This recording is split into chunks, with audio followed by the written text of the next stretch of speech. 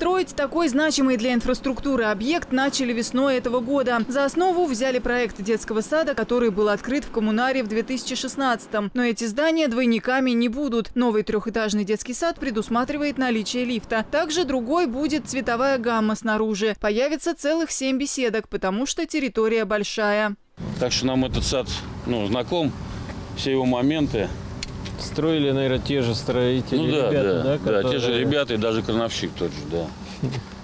Вот. 30 марта был заключен договор, но, к сожалению, вот несколько дней, э, через несколько дней началась эта пандемия, где-то апрель, были сложности некоторые. Но сейчас уже вы- вышли на мощности, на полные.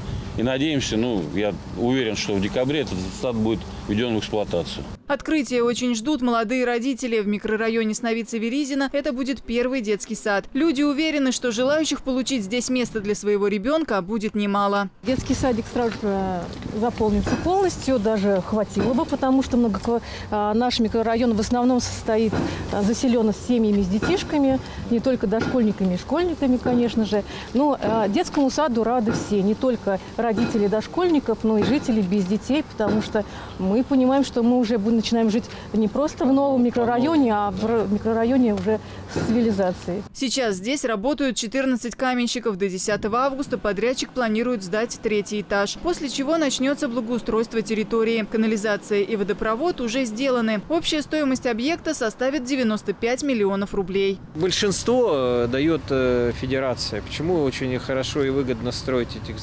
детские сады? Все-таки по федеральной программе все это идет. И для нас это большое подспорье. Там процентов 90, наверное, идет только средств э, федерации. И по 5% где-то город, область дает.